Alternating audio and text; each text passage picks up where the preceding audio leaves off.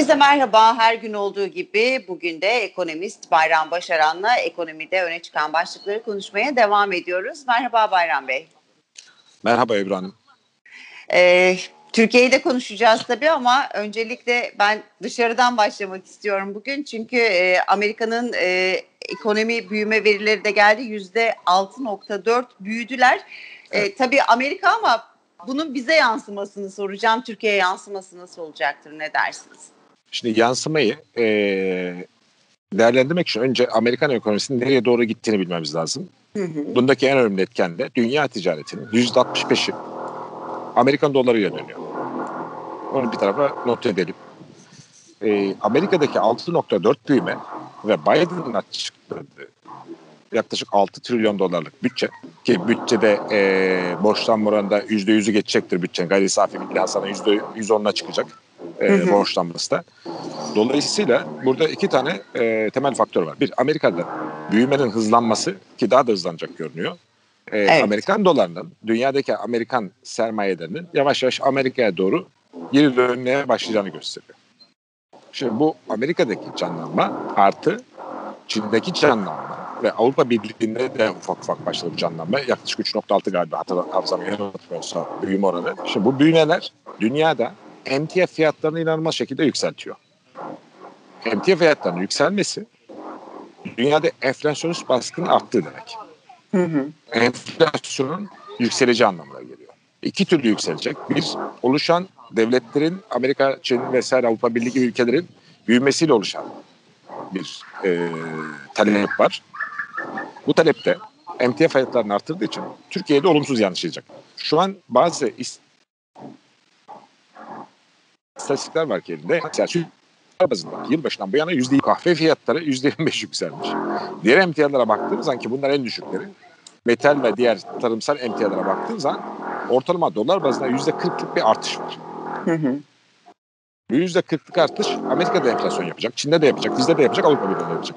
Avrupa Birliği'nde de yapıyor. Zaten Amerika'daki enflasyon 4.2 idi e, açıklanan ki Amerikan evet. son 40 yıllık tarihindeki en yüksek artıştı. Amerika'da şimdi çekirdek enflasyon açıklandı. Büyümeyle beraber çekirdek enflasyon da 2.3'ten 2.4'e çıktı. Bu Amerikan enflasyonun 4'ün üzerine gideceği anlamına geliyor. Amerika bundan sıyrılabilir mi? Evet sıyrılabilir. Ne yapacak? Dolar ihracatıyla ve kredi ihracatıyla. Amerika bunu bizim gibi ülkelere ihraç edecek. Evet. Amerika enflasyonu ihraç edecek. Bizim şimdi bizim gibi ülkelere buna tedbir almak durumunda. Hani ben bunu 6 aydır söylüyorum lütfen Amerika'da büyüme olacak, dünyada büyüme başlayacak, gelişmiş evet. ülkeler daha hızlı büyüyecek ve buna tedbir alalım diye. Defalarca uyardı. Amerika dünyada emtia fiyatları yükselecek diye. Hatta geçen senenin Ağustos'undan bütün konuşmaları hep anlattım. Ancak maalesef Türkiye'de ekonomi yönetimi bunu dikkate almadı. Yani benim gibi bir sürü ekonomist açıkladı. Yani kendimi kişisel olarak söylemek istemiyorum. Bir dünya ekonomist açıkladı. Ama biz gerekli tedbirleri maalesef almadık ve almamaya da devam ediyoruz. Ne demek evet. biliyor musunuz? Bizde bir devalüasyon var mı? Var. var. Bir enflasyonumuz da var kendi içsel olarak. Bir de dünyadan ithal edeceğimiz enflasyon var. Ve bunun devalüasyon, devalüasyon yönelik baskısı oluşacak. Bu, Eyvah o zaman. Türkiye, ya bu, yani bu gelişmekte olan ülkeler için bir tufan, bizim için de bir tufan. Anlatabiliyor muyum? Bizim için de bir tufan. Bunu nasıl absorbe edebiliriz? Bunun yollarını bulmamız lazım. Şimdi herkes diyor ki efendim sanayi şirketlerinin büyük bir kısmı ihracat devam ediyor bilmem ne devam ediyor. Devam etsin ama bu senin enflasyonunu aşağı çekecek. Bir olay değil.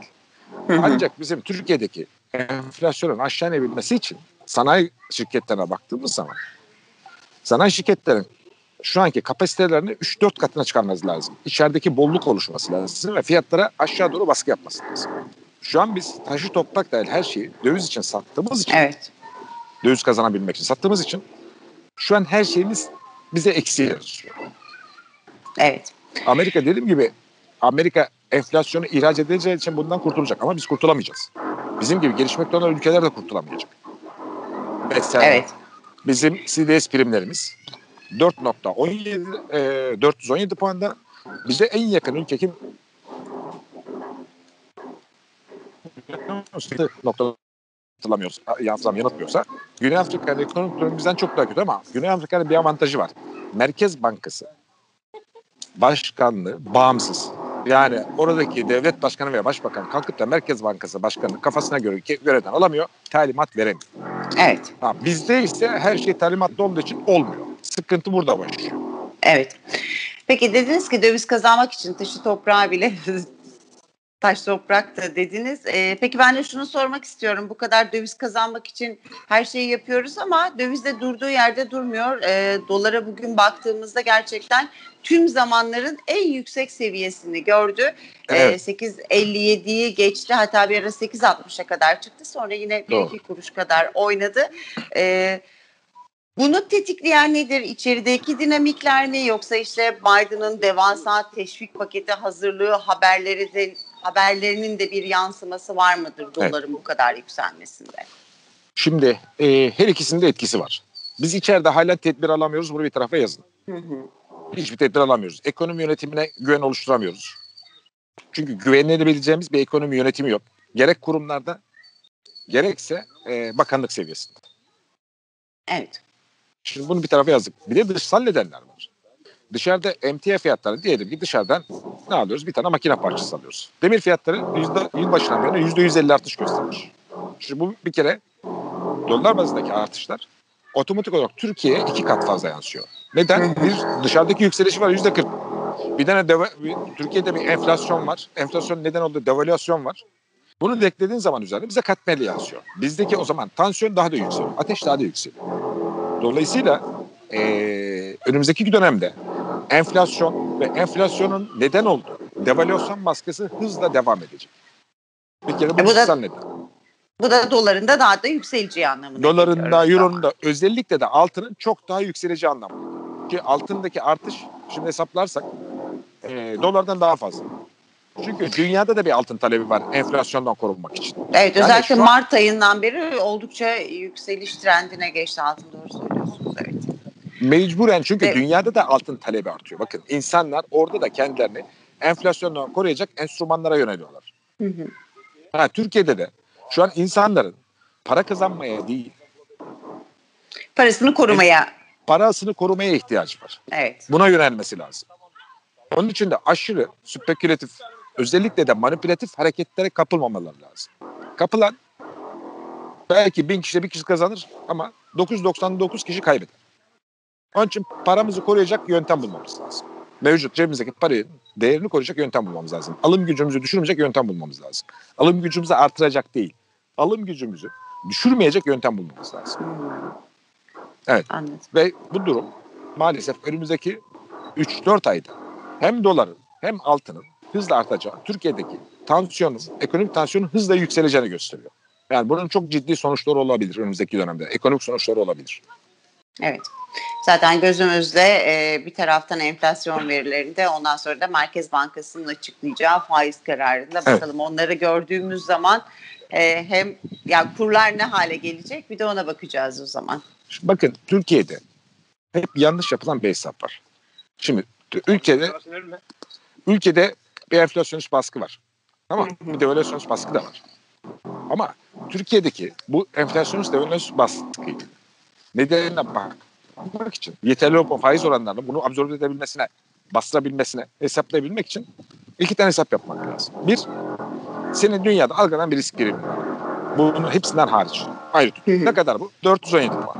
Yani 4.17. Senin bunu kendi faiz oranı şu an bir buçuk puan faiz şey veriyoruz. Artı e, pozitif faiz veriyoruz. E senin riskin 4.17. Bir buçuk puan yetmiyor ki. Evet. Minimum 4 puan civarında senin pozitif faiz vermen lazım. Dolayısıyla yüzde 19 faiz oranı yetersiz. Biz bunu izah etmeye çalışıyoruz ama kimse anlamadı. Ben bu sefer hesap yapalım diyor. Yani benim vereceğim pozitif faiz dördün altında olamaz şu an Türk lirasının değerini koruyabilmek için. Eğer dördün altına verirsek bunu bize başka şekilde ödetiyorlar. Ve o zaman, o zaman da öyle başlıyor. Doğru. Ha, biz şu an maalesef istemediğimiz enflasyon neden oldu? Devalüasyon onun neden oldu? Faiz artışı sarmalına girdik. Bu sarmaldan kurtulmamız lazım. Bak Amerika'da ne yapıyor adam? Diyor ki orta kadem, orta gelir grubunda biz diyor büyük bir çöküş yaşadık. Bu orta gelir grubunu bizim artırmamız lazım ki içerideki dinamikler çalışsın Amerika'da. Ve adamlar bunu yaptılar. Şu an başlar bunu yapıyorlar ve ekonomi çarkları dönmeye başladı Amerika'da. Orta gelir grubunu yükseltiyorlar ki hem tüketim artsın hem yatırım artsın onlara yönelik olarak. Evet. Çünkü toplumun önemli bir kısmı orta gelir kesiminde.